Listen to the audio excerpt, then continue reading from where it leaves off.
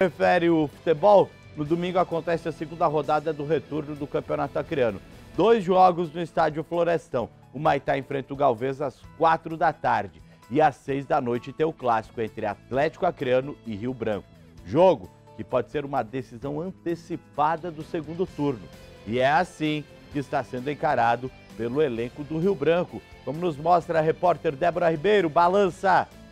O elenco sabe a responsabilidade que tem e quanto a vitória no jogo de domingo pesa para a conquista do segundo turno do Campeonato Acreano de Futebol. O Estrelão foi aos poucos deixando a equipe mais homogênea, com chegada de novos reforços. Agora, o time treina pesado para garantir a vaga na final. O técnico Marcelo Braz sabe que não vai ser uma partida fácil, mas está bastante confiante no trabalho que vem desenvolvendo com os atletas. A gente sabe que vai ser um compromisso muito difícil, até porque o Atlético tem essas qualidades, mas eu acredito que o Rio Branco é um, um, grupo muito focado, muito determinado. A gente tem trabalhado bastante durante a semana justamente para a gente é, conseguir fazer um grande, uma grande partida, um grande jogo. Depois do aquecimento, hora de trabalhar no gramado com a bola rolando. Em campo, os jogadores não foram poupados. Braz preparou um treino reduzido e um mini coletivo para focar bem a equipe. Por aqui, todos sabem muito bem que não vai ser um jogo fácil e que sair com a vitória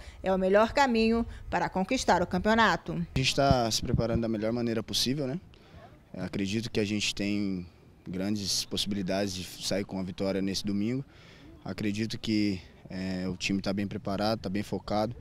É, a gente vem numa crescente, né, desde o primeiro turno é onde a gente veio encorpando a equipe cada dia mais e acho que a gente tem toda toda a qualidade possível para poder sair com os três pontos nesse jogo de domingo. A gente está se preparando bem, sabe que é um jogo muito importante, é, onde a gente já podemos dar um passo muito importante, é, que é ser campeão do segundo turno.